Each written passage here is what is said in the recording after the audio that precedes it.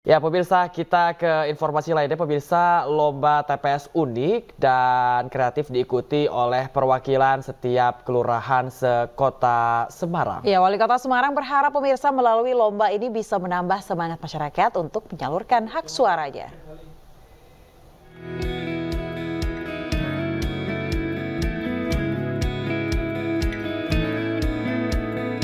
Rabu siang, Wali Kota Semarang Hefearita Gunaryanti Rahayu menyalurkan hak suaranya di TPS 23 Sumur Boto, Kecamatan Banyumanik yang berkonsep pedesaan.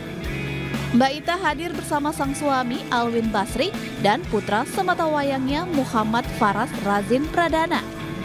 Wali kota wanita pertama di Semarang ini berperan dalam menentukan konsep dan tema dekorasi di TPS 23 tempat dirinya mencoblos. Konsep dan tema dekorasi TPS ini sejalan dengan lomba TPS kreatif dan unik yang digelar pemerintah kota Semarang setiap kelurahan sepertinya minimal mengirimkan satu. Dan bahkan di Kecamatan Semarang Utara melombakan sendiri hadiahnya hari ini apa kayaknya mau di, diserahkan hari ini.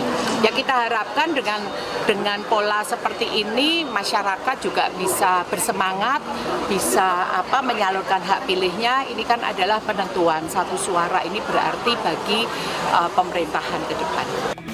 Lomba TPS unik dan kreatif diikuti oleh perwakilan setiap kelurahan sekota Semarang. Diharapkan melalui lomba ini bisa menambah semangat masyarakat untuk menyalurkan hak suaranya, sehingga meningkatkan jumlah partisipasi pemilih di kota Semarang. Dari Semarang, Jawa Tengah, Dimas Yuli, Ainus melaporkan.